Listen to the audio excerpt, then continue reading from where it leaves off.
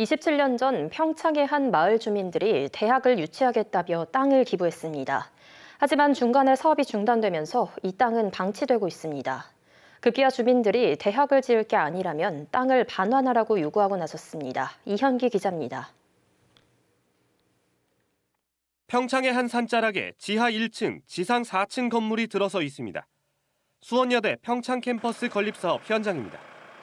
2017년 말 공사비 미지급 문제 등이 생기면서 공정률 95% 정도에서 멈춰섰습니다. 대학 건물이 들어서는 공사 현장 앞의 모습입니다. 지금은 이렇게 외부인의 출입을 금지한다는 안내문과 함께 철문이 서 있습니다. 대학 건립이 추진된 건 1997년입니다. 마을 주민 등 100여 명은 성금으로 산 땅 4만 5천여 제곱미터를 한 학교 법인에 기부했습니다.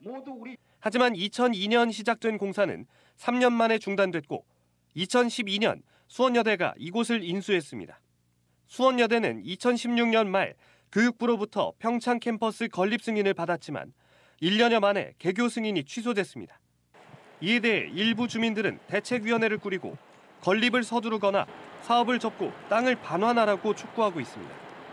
하든지 아니면 군에다가 팔든지 주민들한테 반납하든지 거기 사고 납니다 사람들이 그거 해결을 해야죠 그 동네가 아주 유령인 동네가 되어가지고 대학 측은 사업을 계속 추진하겠다고 밝혔습니다.